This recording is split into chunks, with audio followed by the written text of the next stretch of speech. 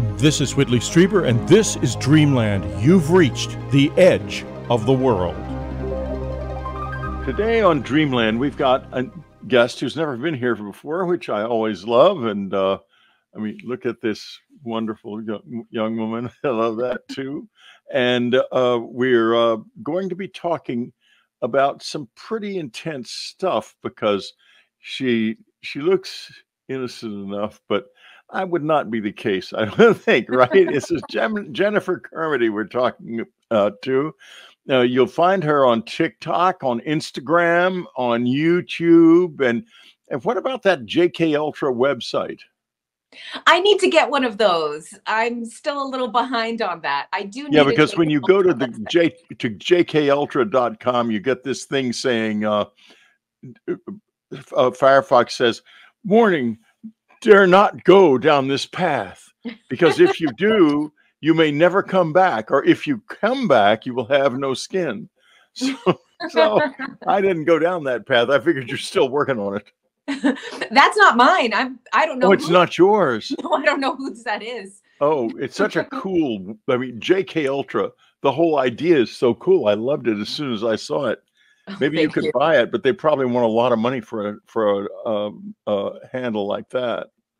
Wow, I need to look into that. Someone probably bought that recently too, because it wasn't there before. So I should yeah. have got that sooner. But oh well. well, and yeah, the world, the world, the world is full of wonderful people.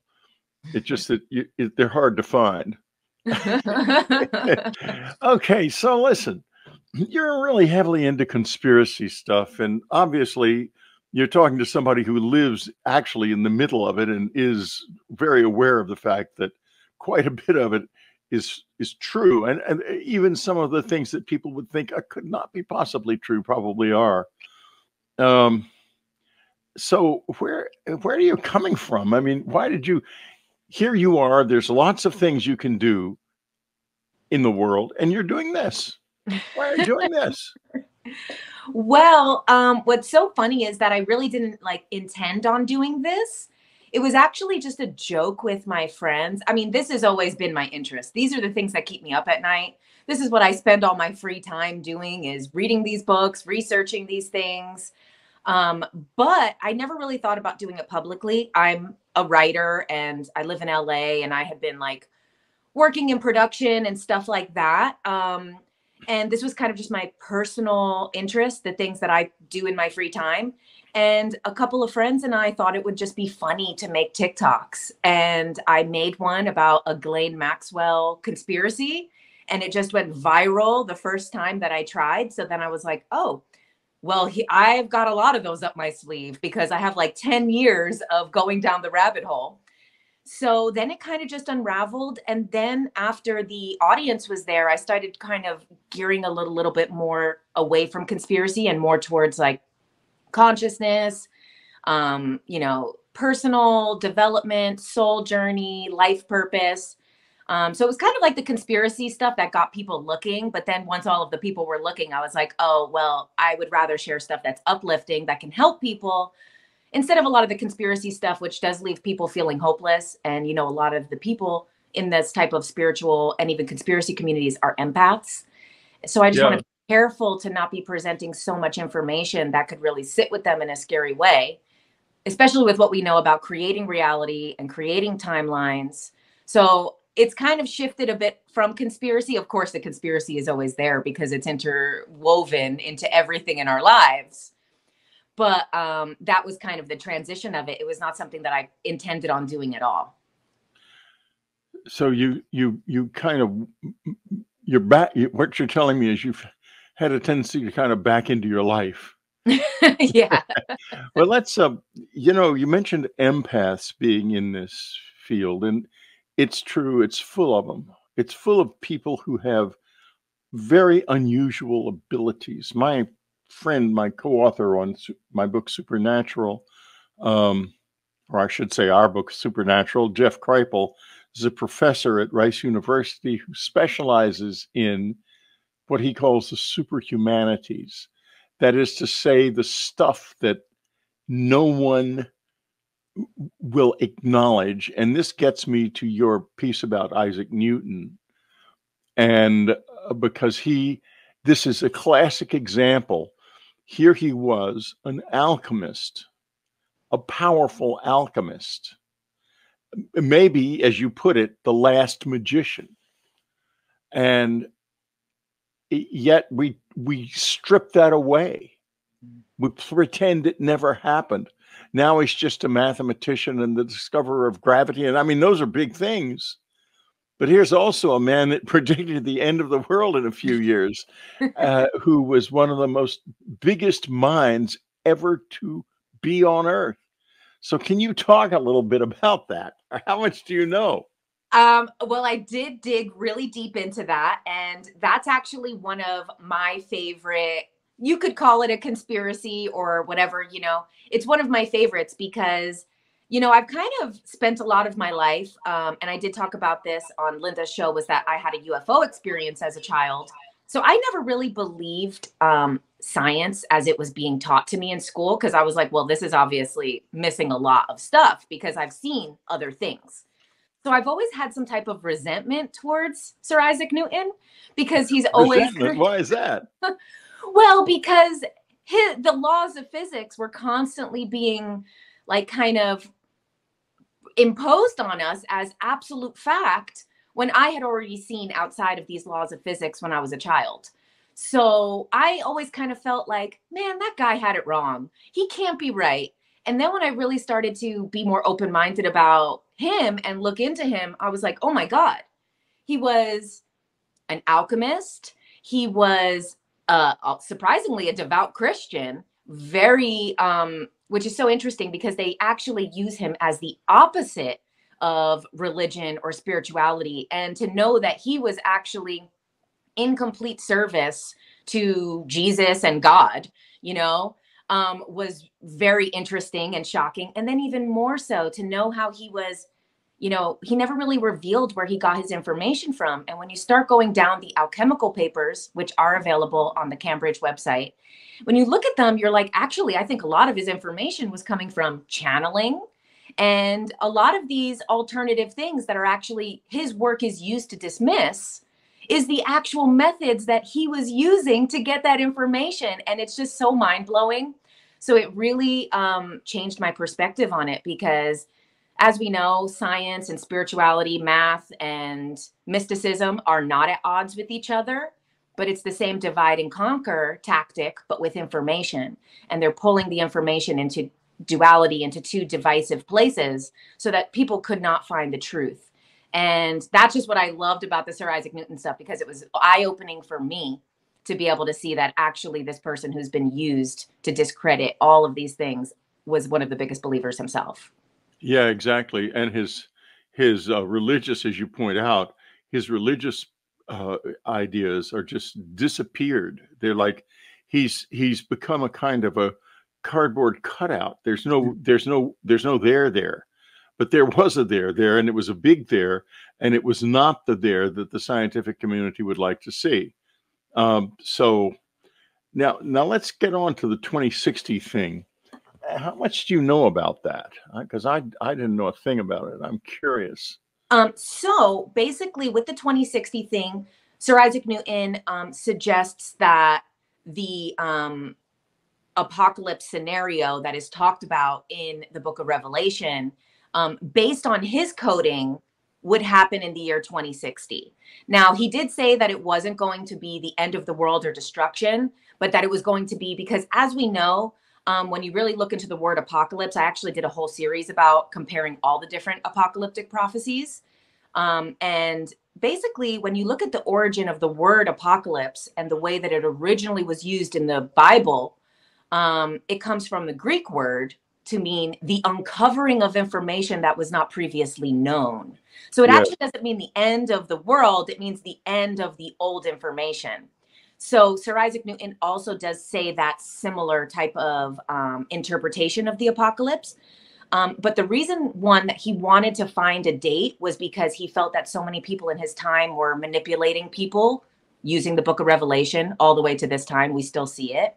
So he wanted to actually try to find the date. And he believed that everything in the Bible was actually an alchemical recipe or code, that they were not actually stories He believes that King Solomon's temple is actually an alchemical code to create gold, as opposed to a story about an actual king. So he has very interesting interpretations, and that's what he used to come to this 2060 equation was him basically translating the story in the book of revelations to an alchemical recipe and working his way back with mathematics to come to that date so it's very interesting um, but it's mostly what he says is the ending of old information the revelation of new information and now we get of course to linda's lonely intense journey and i say lonely because she's the most dogged of of everyone who is in that space. Uh, she's been ever since I've known her, and I listen. Linda and I have known each other a long, long time. Uh, ever since I've known Linda, she has been trying to get some kind of focus on something on this stuff, and she there are places she won't go and places she will go and she struggles and struggles and struggles to get what she calls disclosure, but it's actually much, much bigger than that.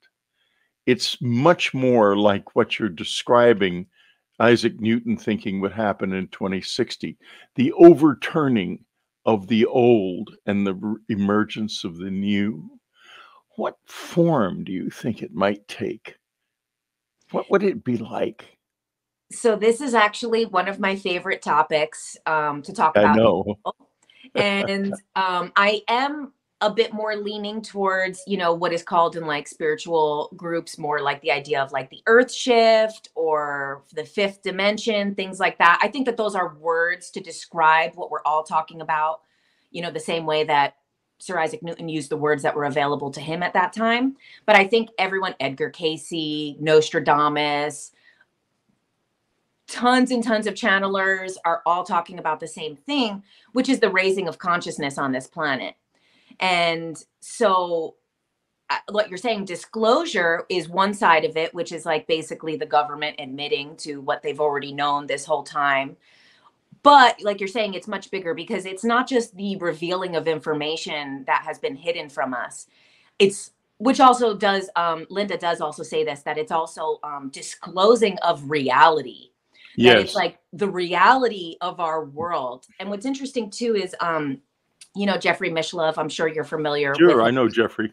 And you know, he started doing the Thinking Allowed again, and mm-hmm. I, I'm, yeah. I can't remember the guest's name, but he was bringing people th- through remote viewing into the year 2050 and 2060, and it's a project that he's been working on since the 30s. I'm missing his name right now, but um, he also had a very similar um, thing that has come up in all of these Russell Targ, was it? Um, I think his name is Alan something, but I can't think of um, what his last name is. And he moved people from to the year 2050, and now he's doing another project to move them to the 2060 timeframe.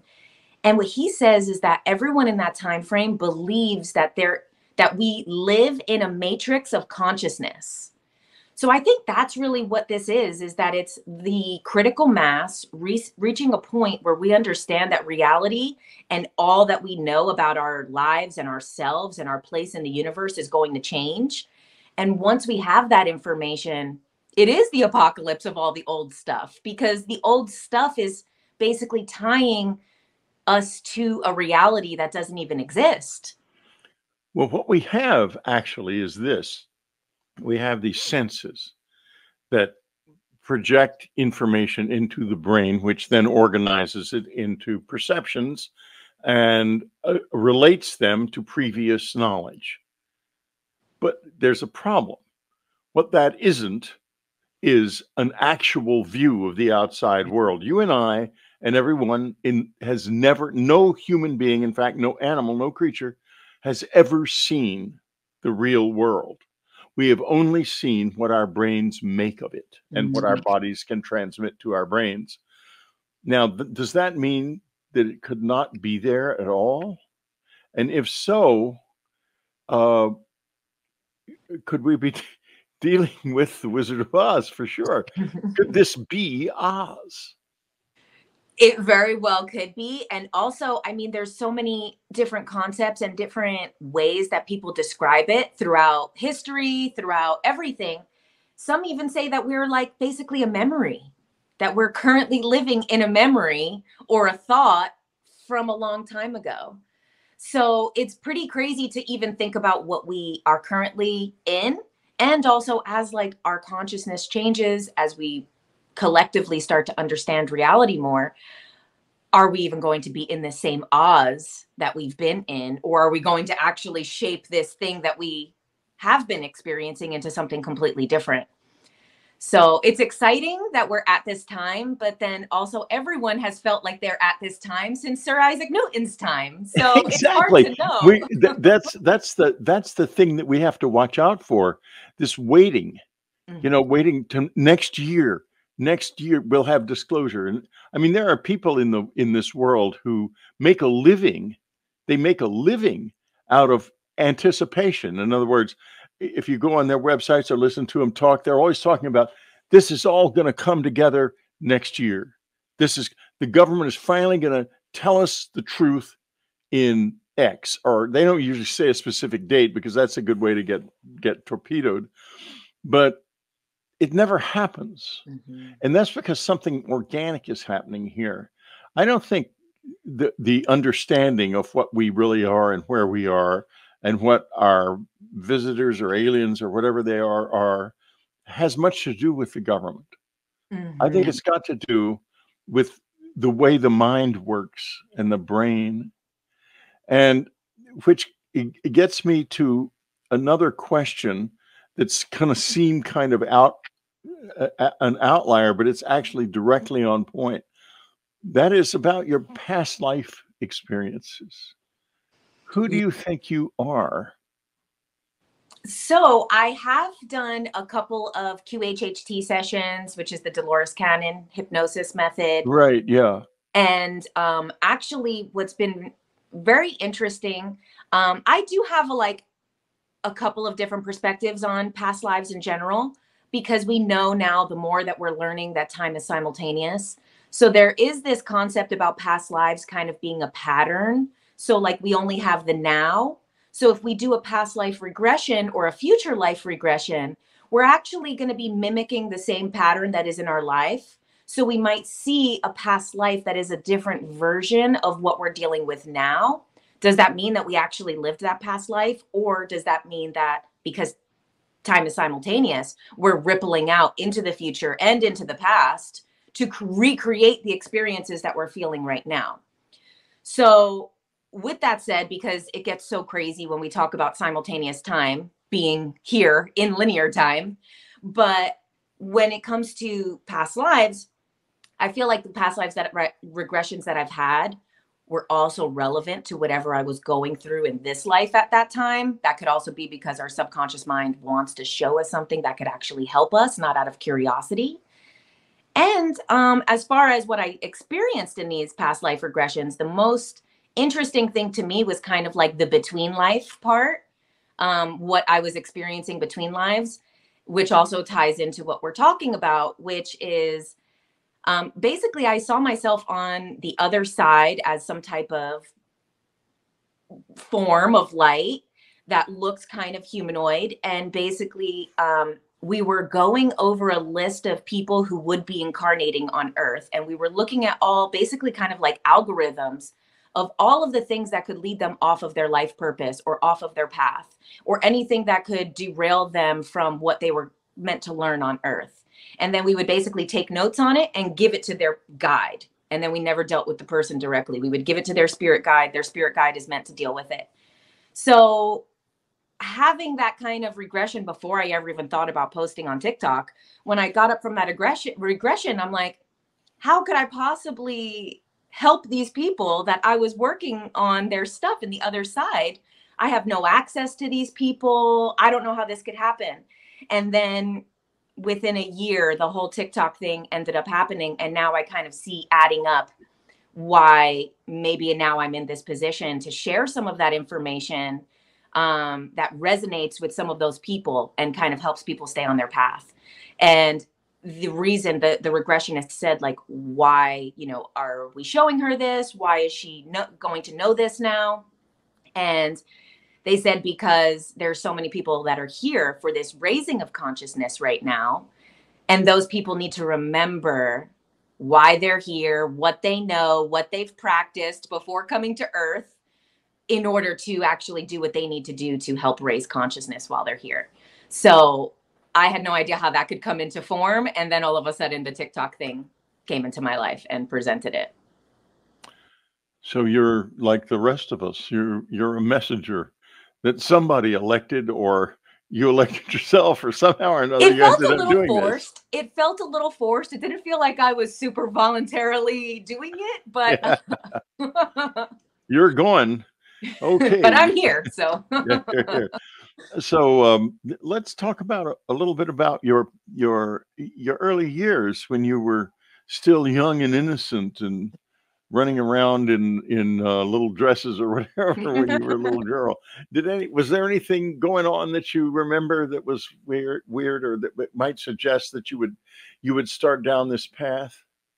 So, pretty much a very defining moment of my life was when I was five years old. This is what Linda interviewed me about, which is me and all of my siblings and step siblings. There were six of us in total. Um, we were playing in the backyard. This was in Jersey City, New Jersey in 1993, um, late at night. And basically, we had a collective UFO experience, all of the siblings together. Um, I was one of the younger ones, but the oldest was um, 13 and 14. There was two teenagers also, and they also remember the experience the same way. And when that happened, that was basically, you know, a very defining moment of my life. And also under the same hypnotic regression, um, we tried to get more information about it. They said it wasn't time for me to know at that time what happened that day but they did say that the purpose i remember it because there's so many times that people have these experiences but they don't remember them the purpose of me remembering was so that later in life which now we see um, i was meant to validate other people's experiences. So when other people were going to tell me about either that they were abducted or that they are an alien themselves or that they're a hybrid or that these things have happened that i needed to know 100% that this is true because i needed to be someone who's not crazy to validate them you know? In in my new book, Them, which is just sort of easing its way out. Uh, I haven't publicized it much because the ebook's not. I mean, the uh, audiobook's not not published, and it, you know that's a big part of it. I want to. I'll publicize it when the audiobook comes out. But anyway, my fans know about it. In um, there, there it talks about an. I re- uh, I uh, have a series of letters in it that we've gotten over the years because we've gotten some fairly unusual letters, as you may imagine. And uh, one of them is about a guy. He was a soldier uh, stationed abroad and lonely, you know, and he moved into off base housing in hopes of, um, you know, maybe meeting people. And indeed, the woman who lived below him in the um, in the in the condo he was in turned out to want to meet him and she was a really beautiful young woman. So he met her they became friends they played games together they had they had a very they got a very close friendship that eventually uh, turned into a night of love. Whereupon she dropped him. And he figured well maybe i was no good or not for her or whatever. Then she calls him to come down to her apartment. And he thinks, oh, well, okay, I'm going to go down and be told goodbye. Well, that was sweet of her. At least tell me goodbye. Not everyone would.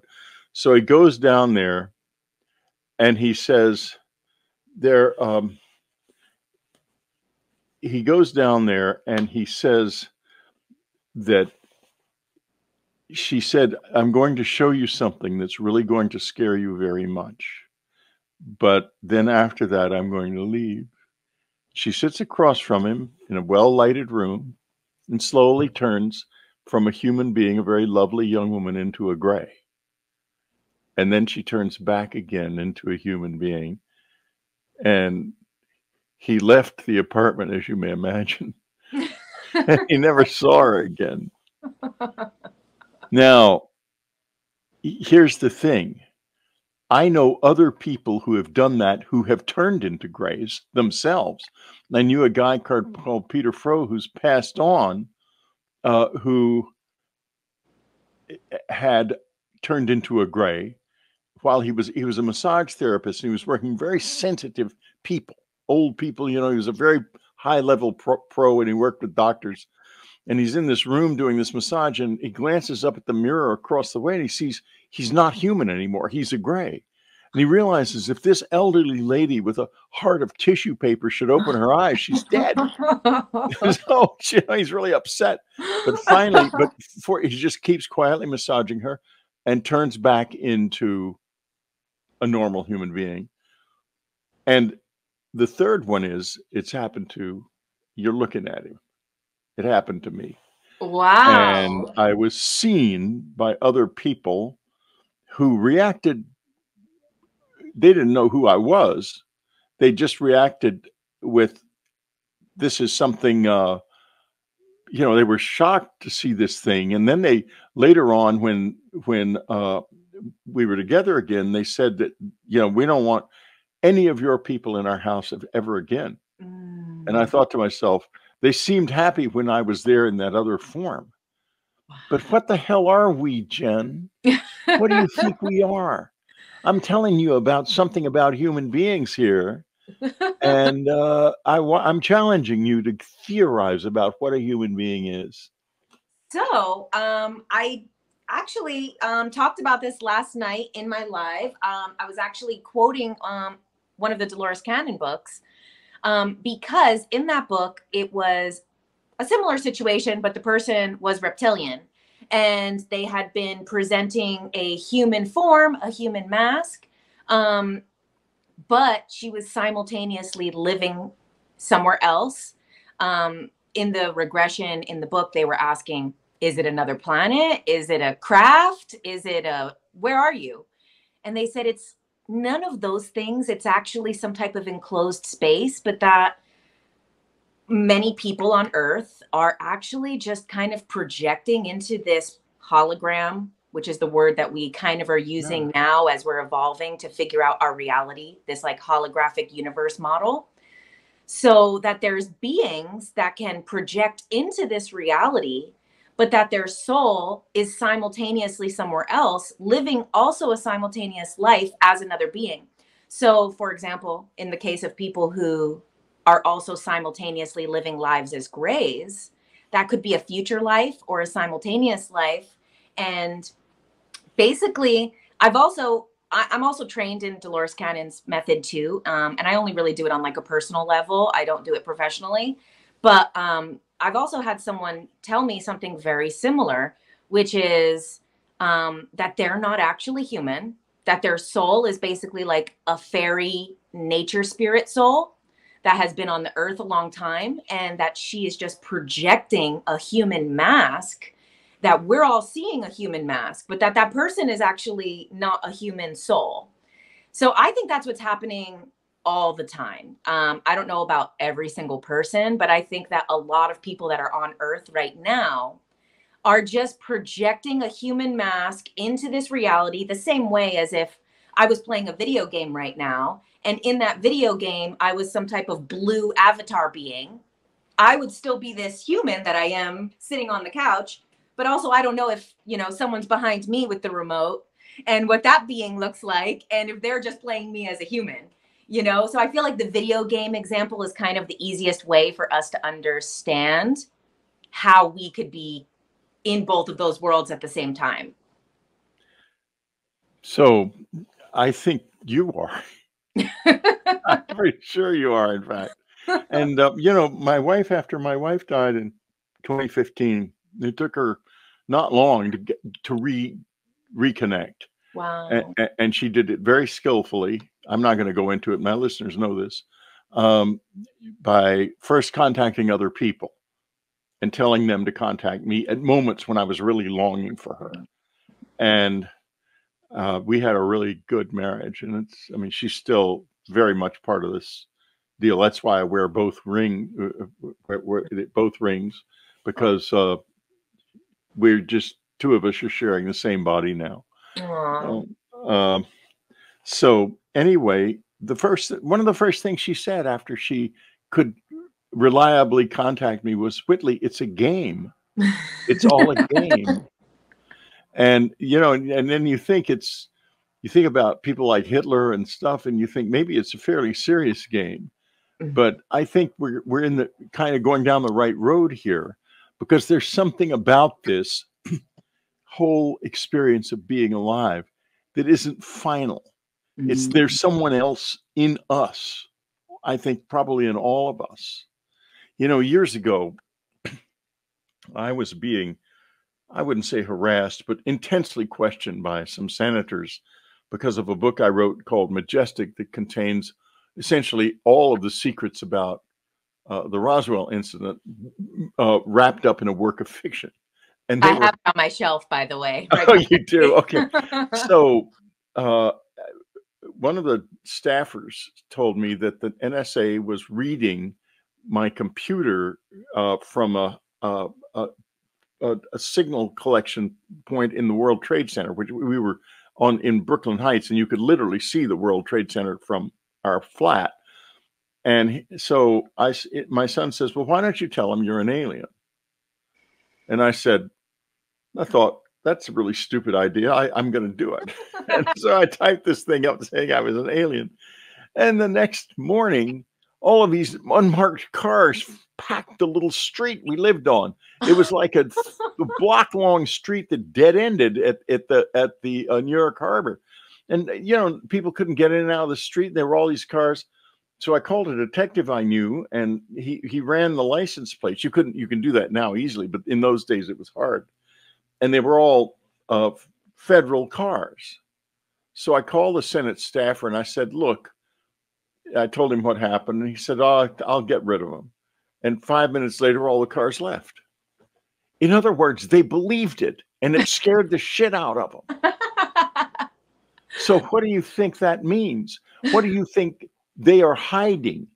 And is it really true that we are even in control of all of this? What if we, we look at the government? We're not people, all this people giving the secrets. We're not looking at human beings at all. We're looking at shells that contain something else. What is it, Jen?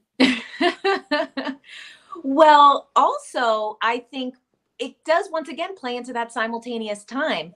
And I really like this belief. Maybe it's because it's comforting to me, but um, that basically there is a successful timeline of the universe where the universe completes itself. And that would mean that basically the original source, God, as some would call it, the original creator, when it splits out into hmm. all of these different experiences and experiences every different form of everything and then still finds its way back to itself and reunites with itself. Now, that process could take, we don't know, maybe we're already 13 billion years into that process. But um, so I do believe that because time is simultaneous, that already exists, that the creator, the source, whatever it is, has already gone through everything and reunited with itself and completed its own soul's evolution. So each of us as little individuals are just those different perspectives of a soul's evolution, playing out all the different possibilities to make our soul evolve. So, Earth that we're experiencing right now is a part of that story, a very important part of that story, I believe because for us to be able to live in a physical reality with free will and to have all of our greatness um, erased from our memory and to feel alone and individual. And this also kind of goes into like the concept of evil, you know, like obviously it's such a divisive topic, but um, I did hear this quote that if it wasn't for evil, consciousness would never find its way back. It would just roam forever. So I also think that this is you know what that is a brilliant. You you hit the nail on the head. Oh. You're the first guest I've ever had who understood the reality of the need for evil and what it actually is. But go right ahead. Oh, wait a minute. 34. I'm many minutes past my break. I'm supposed to take a break. We put in ads that don't work. And then uh, go and for it. and then so we're going to take a little break. Uh, we're talking to Jen Carmody, a very, very brilliant and very cool messenger from the beyond. We'll be right back. Them. Mitch Horowitz calls it in the preface among the most important interpretations of visitor phenomena since Jacques Vallée's Passport to Magonia in 1969. Dr. Vallée says in his foreword the book cites fact after fact to build the case for in-depth realignment of public policy and public need. Diana Walsh Pasulka, author of American Cosmic, says, leads the way, and it's best that we listen because the stakes have never been higher. EarthTech International President Hal Puthoff says, them is exceedingly valuable. Leslie Kean, author of UFOs, Generals, Pilots, and Government Officials Go on the Record, says, groundbreaking in the truest sense of the word. Bigelow Aerospace VP Colm Kelleher says, searing and masterful. Them. Available as an audio book on audible.com, Apple Books, and Amazon. Available as a hardcover and paperback everywhere. Available as a Kindle on Amazon.com. And you can go to unknowncountry.com and order all of my books. Where are we going? Where have we come from? What secrets have been buried? What secrets have been lost? What is the truth about the close encounter experience? You have never heard any of this before. Them. We're talking to Jen Carmody. Uh, Jen, where can we meet up with you? Where do we find you on the internet? So I am a TikToker. So I am JK underscore ultra on TikTok. I'm also um, very active on Instagram. I couldn't get JK ultra for Instagram, so I'm Jennifer C E E on Instagram, and also on my YouTube, um, which is also JK ultra, and that's a little bit more of the long form content and some more personal content. Uh, there have recent, recently been some uh, nervous ripplings on Amazon which is beginning to ban books like a, a, they banned an abduction book and the biggest ufo investigator in uh, scotland has just been thrown off uh, amazon. And i'm wondering i know that the us defense department is really nervous about us all of us every single one of us because we represent something that frightens it. Frightens it badly enough to where I'm fairly sure they're leaning on Amazon, and this will not be the end of it. I'm already making plans to change my whole book selling process because I have a feeling I'm I'm somewhere in line on Amazon. Now, YouTube is another one that's vulnerable I think TikTok, because of its danger danger of getting uh, thrown off uh, the out of the United States, is vulnerable too. They can be leaned on. So, uh, did were you able to monetize your TikTok channel? Um, so actually the way that I monetize is not really directly through TikTok. Um, it's also, I mean, TikTok is a great platform because it has a natural algorithm, whereas like a lot of the one other ones are very geared towards celebrities or paid content and things like that. TikTok does have a natural algorithm, so it does allow for when I just wanted to post that one video about Ghislaine Maxwell for it to hit the right people without having a following at that time. Um, as far as putting information on different platforms, it's interesting. The type of things that I would get in trouble for on TikTok is totally fine on the other apps certain words, you know, um, the c word communism if you use that word you're you're done you're done on that app. and they so, say they they say they're not connected to the chinese communist party yeah if you use that word on there i can guarantee you will be shadow banned um, because I test it out quite often. And um, but surprisingly, a lot more of the like government conspiracy stuff actually can go a lot far farther on an app like TikTok than say Instagram. So it's very interesting between all of these different apps, kind of what picks up and what doesn't. And I don't know if that has to do anything with like any agendas behind the scenes. Um, as far as TikTok getting banned, per- personally, I think it's a forced sale that they're trying to force it to go public and to restructure so that it can go public. It could be on the stock exchange, and then all the senators can buy um, stock, just like they have stock in Meta and Twitter and Google, so which is YouTube. Um, so I feel like really what it is is they want it to be a forced sale. I don't think it has anything to do with safety of anyone. I agree with you. I'm sure that's right. No, when I went on to YouTube, I hadn't had I didn't have two videos up before I got a notice saying that my channel couldn't be monetized. Oh wow. So and and that was because of who I am. Wow. And but I stayed on YouTube anyway because I like to I like the way it works and you also you get a good audience on YouTube. I'm I'm trying to figure out TikTok as I think I said earlier, or maybe not on the show. I don't know. Um, so you've mentioned Ghislaine Maxwell a couple of times, and uh, can you talk a little bit about what is because there's a an awful lot there that's hidden. I'll get, to just give you one idea. If you've noticed, nothing is ever said about all of the videos that were made in those houses. The reason is there are two reasons for this. One is the people who are in a lot of the people in the videos are too powerful to to fail. and uh, the other one is more important. Uh, the a, uh, uh a, a police officer from Florida, from the Florida State Police, took DVDs of all of those videos to Russia mm. and sold them to Russia and now lives there.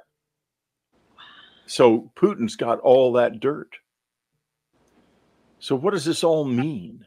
Go back to Ghislaine Maxwell and we'll start there. We're going to do a little conspiracy theory, folks. Nice, fun. Just for fun. Yeah. Just for fun.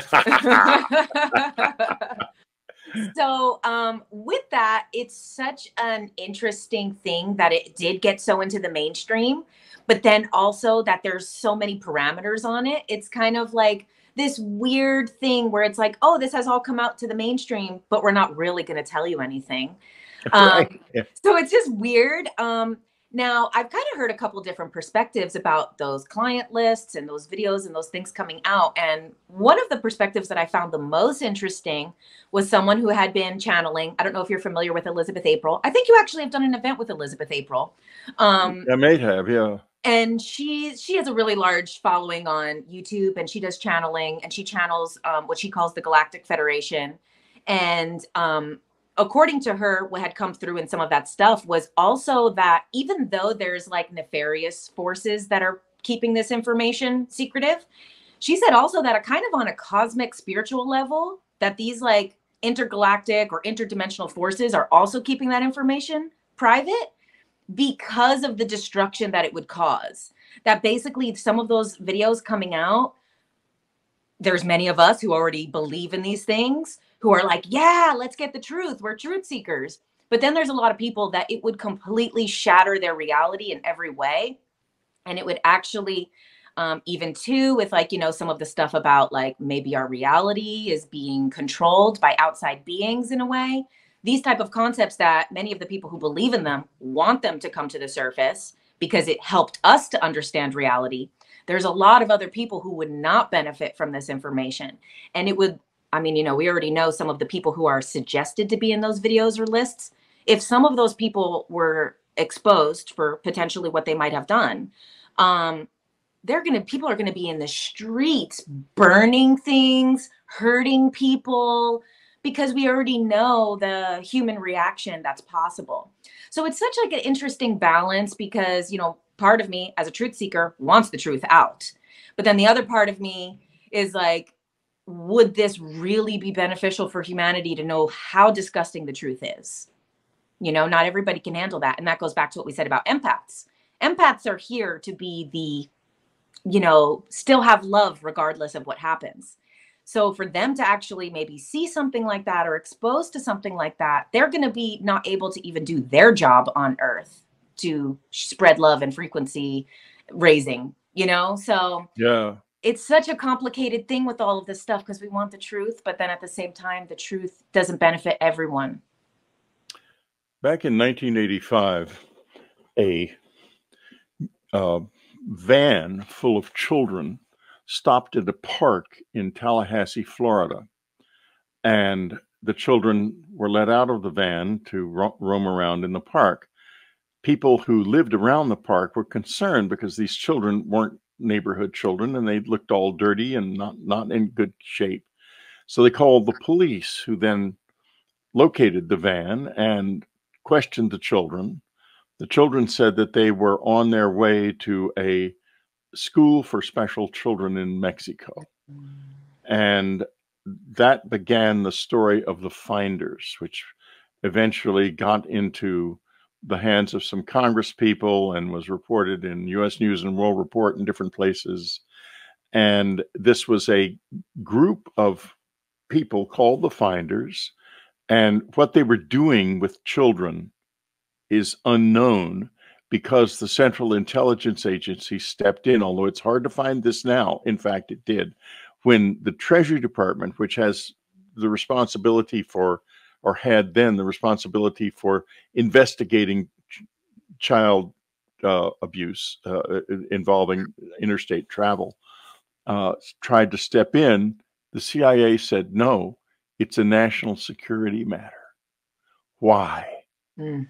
Why is it a national security matter that children would be taken across the border to a place in, and I know where it is because I was in it when I was a little boy Oh in Monterrey, Mexico. Why would they be taken there? I remember a little bit about what happened there.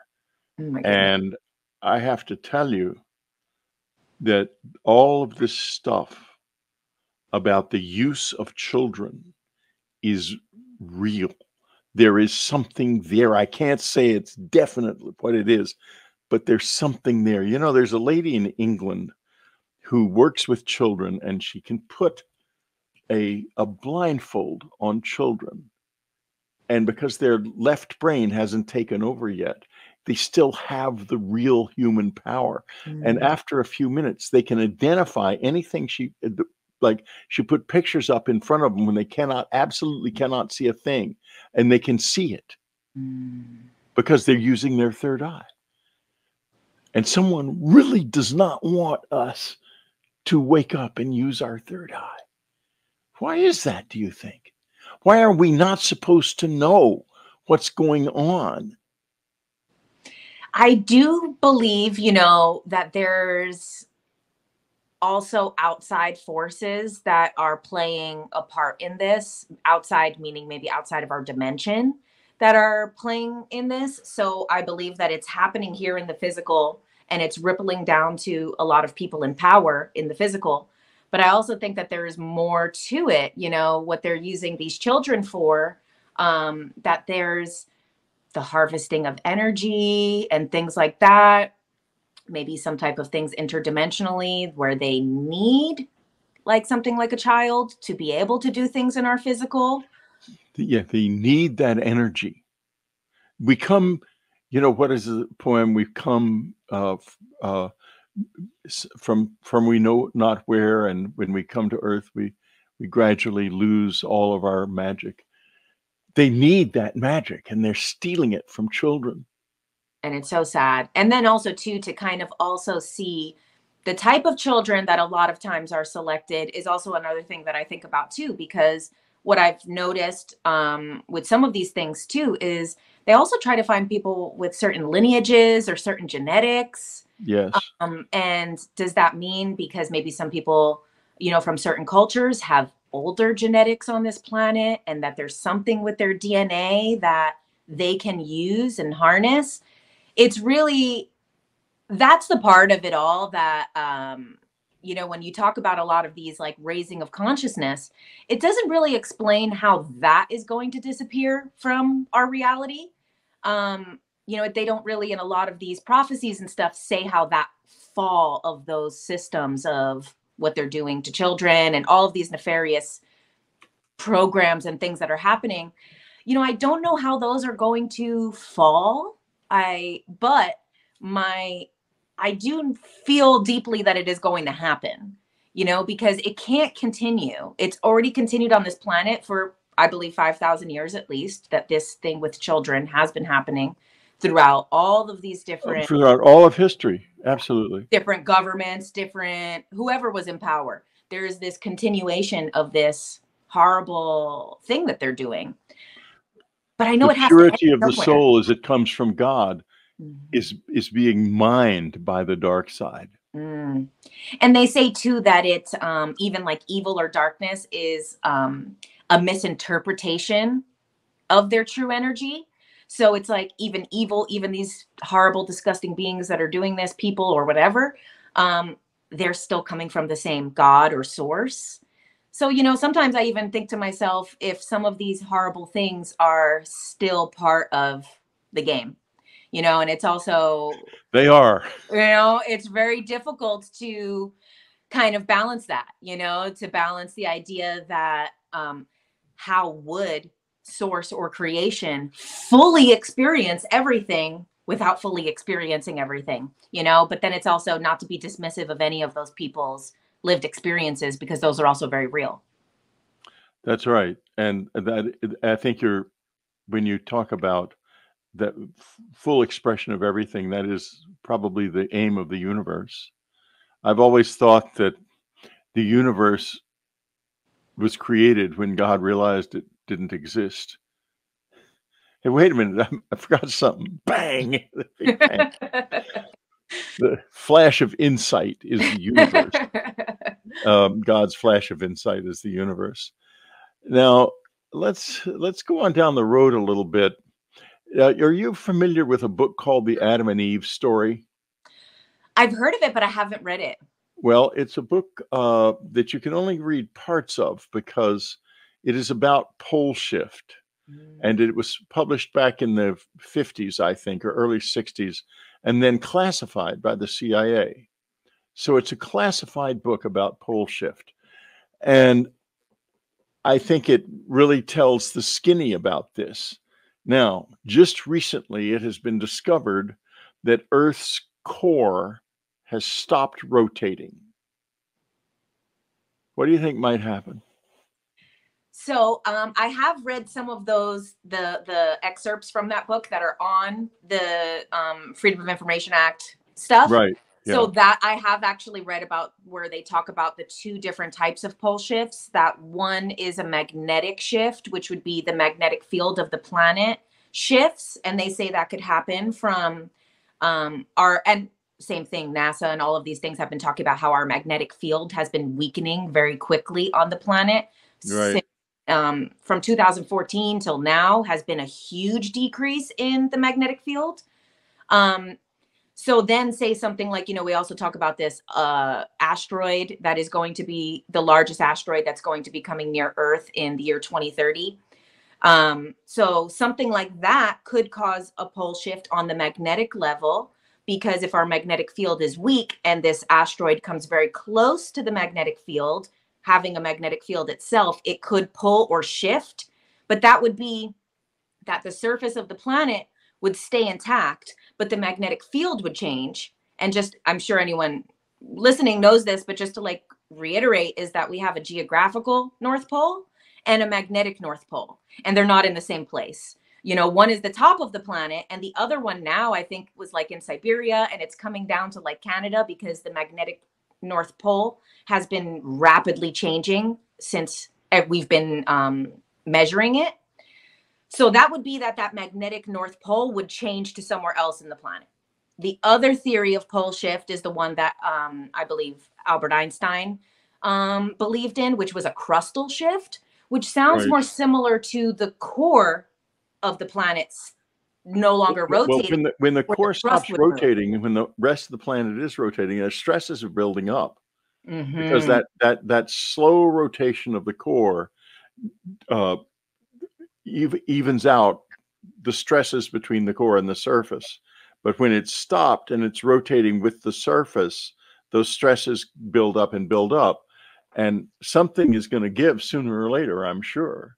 And if you ask Graham Hancock, it's happened in the past, and there's even a lot of evidence that it has that that this that this shift of the physical shift takes place so deep it doesn't change the geology of the surface, but it just changes the position of everything. Mm-hmm. Um, and uh, if you if you look at uh, at his work and you look at some of the other things that have been discovered, like for example, there's this site called uh, called uh, it's a geodetic uh, about geodetic lines, and you can draw a geodetic line, a line around the planet, all kinds of sacred sites are on that line, but it doesn't mm-hmm. point to anywhere. It points to a place 1400 i think it's 1420 i'm don't don't, don't quote me folks but I, i'm close more than a thousand miles away from current physical north mm. and it's because these sites were all pointing at the physical north pole when they were built wow isn't that fascinating it really is. And also, you know, just even kind of exploring this stuff, it only more so confirms how the history that we've been taught is not at all the history of this planet. Because where, you know, even with comes to like the pole shift stuff, when you look at kind of like the science behind it, they're saying the last time this happened was like 300,000 years ago.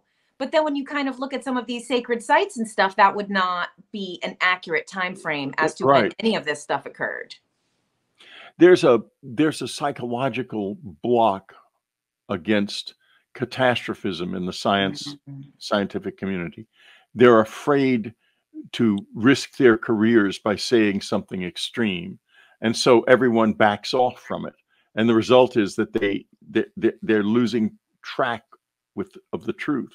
Mm-hmm. Uh, free Dreamlanders, those of you who listen to the show free, um, it's time to go home, and I hope you enjoy the rest of your day.